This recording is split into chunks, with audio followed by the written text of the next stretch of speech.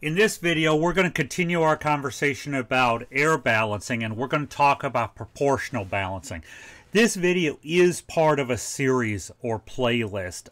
If you have not watched parts 1 through 8, I would highly recommend you do so before you really move on to this video. And the other note I need to make is you cannot learn to do this by just watching a video. Okay, apprenticeship in the HVAC trade is very important as well as good individualized instructions. These videos are designed to be more of a refresher or a basic introduction than a full HVAC program. You really, if you want to learn HVAC, if you want to learn these individual parts of the trade, you do need to have training which includes both hands-on and classroom. So we talked a little bit about air balancing and we talked about the stepwise method of air balancing the last time where we were balancing everything to be within a 10% margin of error. The problem is that this can leave, that method can leave hot and cold spots, and it's not all that accurate. Okay, you're not making sure that all of the registers are getting the correct amount of air or equal percentages of the air that's available. So the proportional method dials this in a little bit farther. So let's walk through an example of how the proportional method works. So you're going to create a chart, as we always do, to record readings. You're going to enter the locations and the desired airflow for each location. You're going to take and record a full set of airflow readings. You're going to calculate the percentage of desired airflow being delivered to each location. Okay, then you're going to rearrange the lines on the chart from the lowest percentage of desired airflow being delivered to the highest and dampers are then adjusted to receive the desired balancing results. So let's walk through this step by step and show you some readings. Okay, here's our basic chart.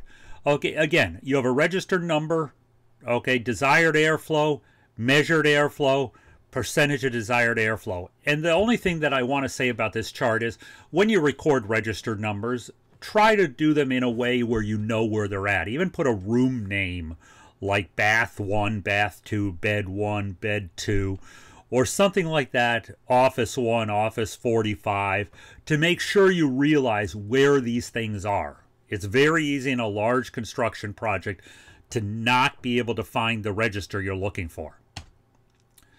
Supply locations are balanced to each other, not a predetermined percentage range. Okay, the stepwise method, we used a predetermined percentage range, normally plus or minus 10%.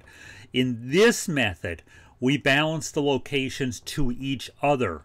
All dampers are adjusted in this procedure with the exception of the damper that feeds the area with the lowest percentage of desired airflow.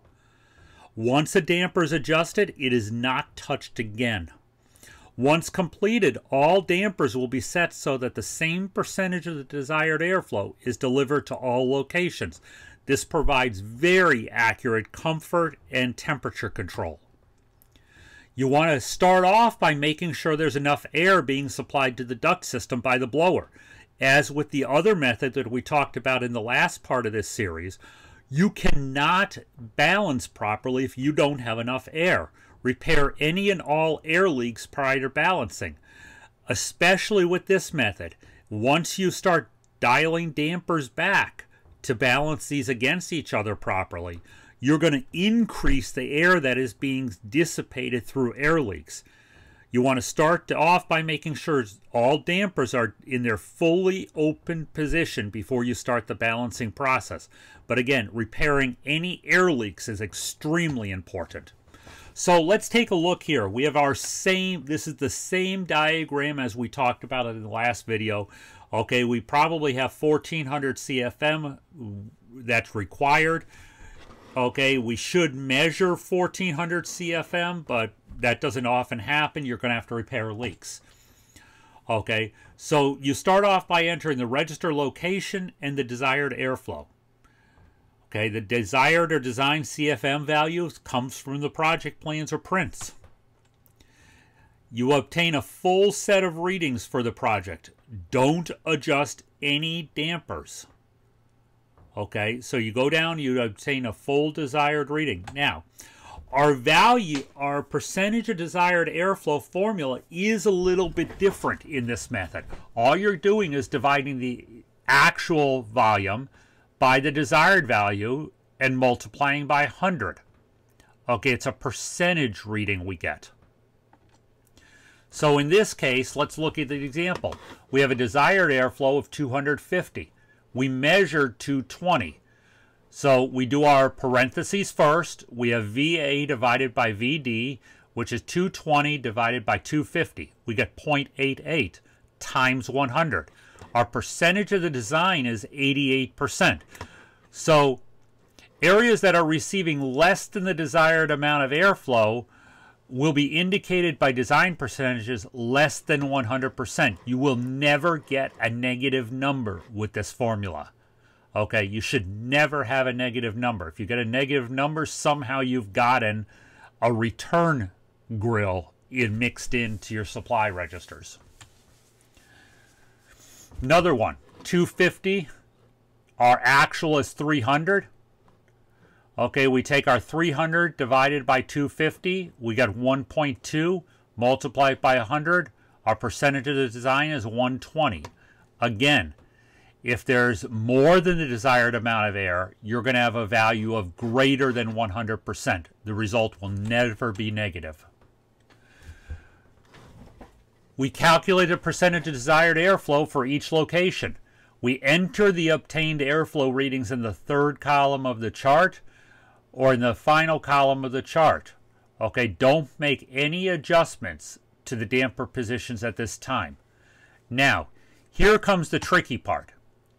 You want to recreate the chart, reordering the chart based on the percentage of the desired air. Order the areas from the lowest percentage of desired air to the highest.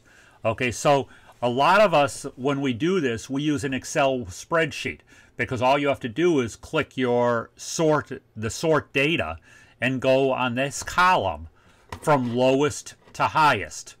The area with the lowest percentage of desired air will be the only area that does not get adjusted. In this case, the damper for Office 4 will not be adjusted. So let's take a look at this. Okay, so again, the, air, the arrows are basically showing how we reordered this. Office 4, Conf 1, Lounge 2, Office 1. Okay, we're ordering from the lowest percentage being delivered to the highest. This is extremely important. Now, the lowest percentage damper you are not touching. You are leaving that at 100% open. You lock it down and you don't touch it. Okay, you're going to start by adjusting the second lowest desired airflow. Okay, and they're adjusted in, we're going to adjust them in order. Okay, so the next thing we're going to do is you're going to adjust this one, conference one, or whatever your second lowest airflow percentage is. You're going to close that damper until the percentage of airflow from conf 1 to office 4 are the same. In other words, you, when you close this damper down, it's going to cause the airflow in other areas to increase. Okay, so here we started off with 160 and 210. We want now, we want them both to be at 81%. So the percentages are equal. Okay, so we're going to now have a measured air, airflow of 162 to 203. Okay, both Office 4 and Conf 1 are being supplied with 81% of the desired airflow. All we did was close Conference Room 1 down a little bit.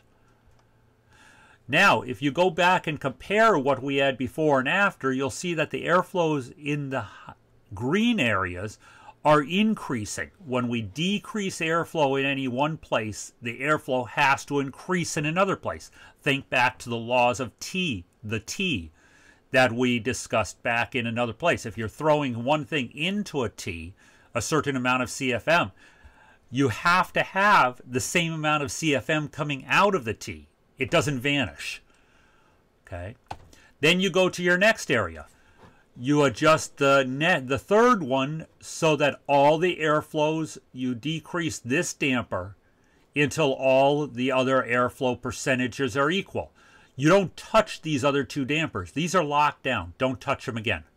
Once the airflow is equal, the damper for lounge 2 is secured, and the airflow for the, you'll notice that these areas are still increasing. That's okay. Watch what happens. You're going to go to your next one. Now when we decrease office 1 to get it down to the other percentages, you'll notice that now we're at 84%. Everything else is proportionally increasing. Lock it down. You're never going to touch the prior dampers again. This is a one pass. Okay, snack area, we decrease again and we pull it down so everything else is proportional.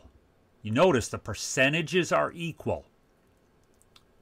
But you'll notice the percentages of desired are coming up as we move through here. Next will be Office 5. We adjust it down so all the percentages are equal. All we're doing is closing dampers. But you'll notice the areas in green are still increasing. Watch what happens when we go to dampers, the next damper, Office 2. Now we're all at 90%, but the percentages being delivered are equal across those that we've already adjusted. The laws of the T are falling in here air has to go someplace. It can't just vanish.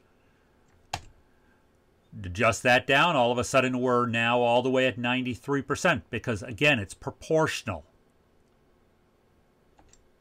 Conference 2, we're now at 95%. Now lounge 1 is going to be loud and screaming.